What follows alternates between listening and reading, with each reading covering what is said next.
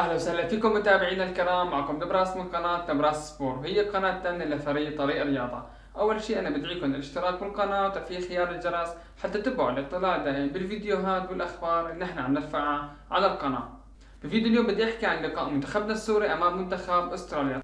طبعا هذا اللقاء رح يكون مصيري للتأهل لدور ال 16 لأول مرة بتاريخ مشاركاتنا ببطولة أمم آسيا.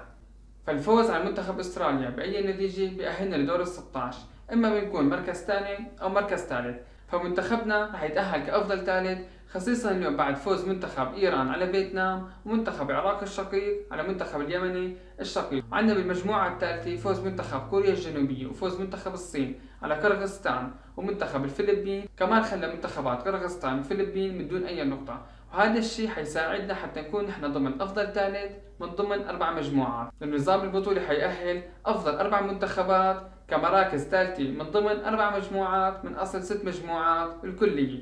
وبإذن الله منتخبنا بحقق الفوز على منتخب أستراليا ونتأهل لدور ال 16 بتمنى له كل التوفيق. بإذن الله بحققوا الفوز. واللي عنده أي سؤال خلي لي إياه من قسم التعليقات. وبنهاية الفيديو بتشكركم على سماعي وبتمنى منكم الاشتراك وتفعيل خيار الجرس. حتى تتبعوا على الاطلاع الدائم بالفيديوهات والأخبار. شكرا لكم.